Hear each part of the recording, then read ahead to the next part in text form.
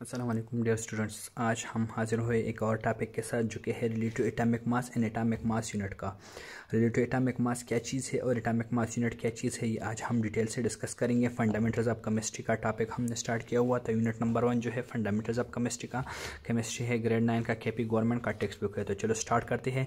Start करने से पहले आप लोगों से रिक्वेस्ट है कि वीडियो को लाइक करना ना बोले चैनल को सब्सक्राइब करना ना बोले और हमारे चैनल पे जो स्टूडेंट्स नए हैं, वो लाजिम में हमारे चैनल को सब्सक्राइब करें और कमेंट में आप लोग जो भी क्वेश्चन हो, आप लोग मुझसे पूछ सकते हैं। अब आती है बार यहाँ पे रिलेटिव एटॉमिक मास की।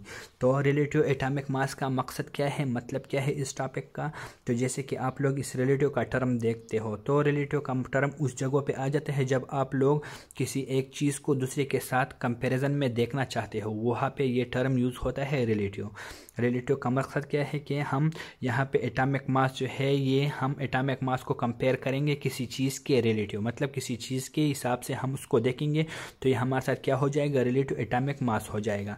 यहाँ पे अगर हम डिफिनीशन देखें ये ग्रीन में लिखा हुआ है द रिलेटिव एटॉमिक मास हमारे साथ जो रिलेटिव एटॉमिक मास है of an element is the mass of an atom of that element relative to the mass of one twelfth of carbon twelve हमारे साथ सिंपल इसकी डेफिनीशन है कि हम कार्बन ट्वेल्व के वन आवर ट्वेल्थ के साथ किसी एटम का मवाजना करें तो इसका जितना वेट आ जाता है तो हमारे साथ वो उसका क्या हो जाता है? हम उसको क्या बोलते हैं? रिलेटिव एटॉमिक मास बोलते हैं। रिलेटिव एटॉमिक मास का डेफिनेशन क्या है?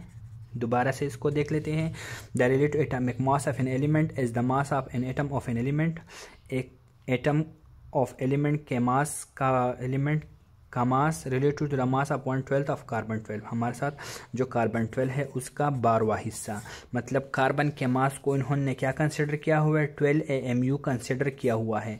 तो हमारे साथ one over twelfth A M U क्या हो जाएगा? तो ये ट्वेल्व ट्वेल्व के साथ कट जाएगा। हमारे साथ ये वन ए एम यू बच जाएगा। तो इसको हम क्या बोलेंगे फिर? इसको हम बोलेंगे कार्बन ट्वेल्व के मास का वन आवर ट्वेल्व के हिस्से को हम क्या बोलेंगे? रिलेटिव एटॉमिक मास तो ये हमारे साथ रिलेटिविटी में था। इसका अगर हम लोग थोड़ी सी थ्योरी देखें तो थ्योरी से आप लोगों को समझ आ जाएगा. If you measure the mass of an atom in grams और kilograms it will be extremely small value. कितना छोटा वैल्यू होगा अगर हम इसको किलोग्राम या ग्राम में करें? टेन की पावर ट्वेंटी फोर के जीज में होगा, टू टेन की power minus twenty two grams. इतना ग्राम्स में होगा मतलब इसी रेंज में होगा। Measuring such a small values are and masses are not only impossible but are also very impractical to work with इतने छोटे छोटे मासेज हम मेयर करना तो इम्पॉसिबिलिटी एक और तरफ़ है, लेकिन ये प्रैक्टिकली तौर पर हम नहीं कर सकते। इसके साथ इस तरह का प्रोसेस या केमिकल रिएक्शन या इस इसके calculation for that purpose atomic masses are expressed by comparing with the mass of standard atom इस वजह से हम किसी स्टैंडर्ड एटम के मास को लेकर उसके साथ दूसरे एटम के मास को कंपेयर करते हैं। मैंने पहले भी आप लोगों को बता दी कि रिलेटिविटी का टर्म आता है उस वक्त जब हम किसी एक चीज़ को दूसरे के साथ कंपेयर करें। तो यहाँ पे ये बात की गई है for that purpose atomic masses are expressed express किए जाते हैं by comparing with a mass of standard atom the atoms chosen nowadays a standard for comparison is that of carbon twelve which has a mass of exactly twelve units तो आजकल जो carbon use होता है standard वो हमारे साथ क्या है? कार्बन हैं जो कि ट्वेल्व यूनिट्स उसका मास कंसिडर किया जाता है। यहाँ पे इस बैलेंस में अगर आप लोग देखें तो यहाँ पे सी ट्वेल्व लिखा हुआ है और यहाँ पे ट्वेल्व यूनिट्स यहाँ पे एक एक चीज़ के बारह यूनिट्स रखे गए हैं। मतलब हर एक चीज़ जो है वो एक यूनिट का है।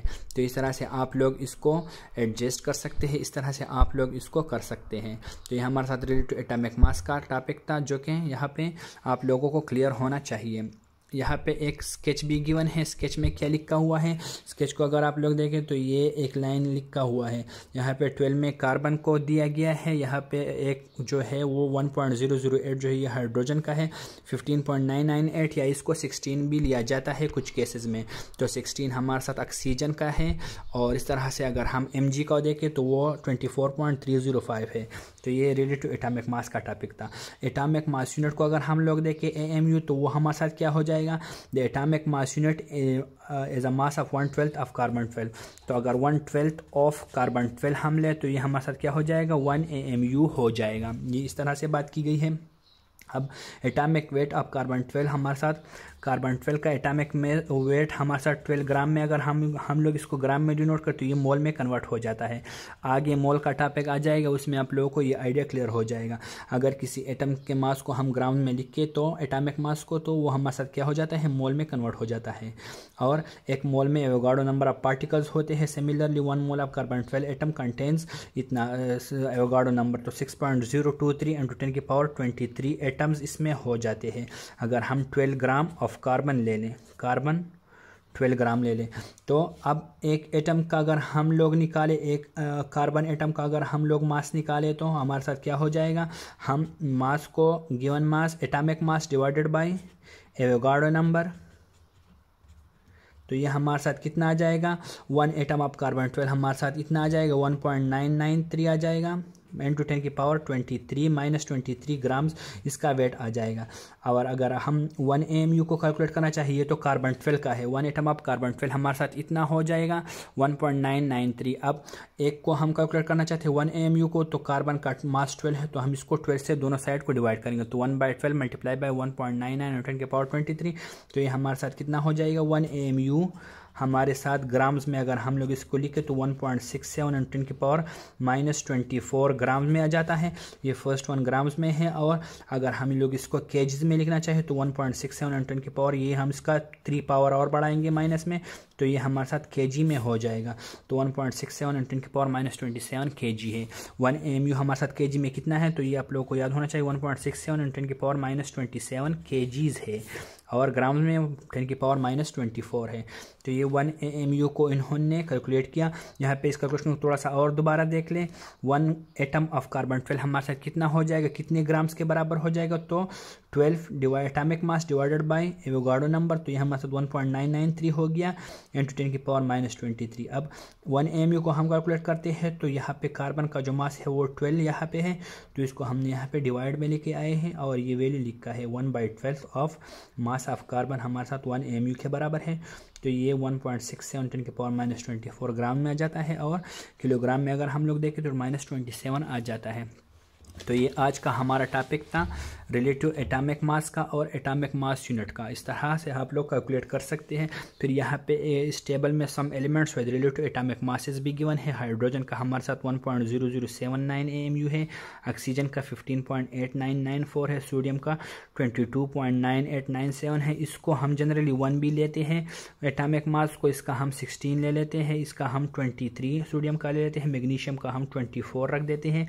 और यहाँ पे हम इसको वन ज़ीरो एट भी ले सकते हैं। क्योंकि ये एक सौ सात अशारी आठ सिफर इसको राउंड अप करें तो ये वन ज़ीरो एट बन जाता है।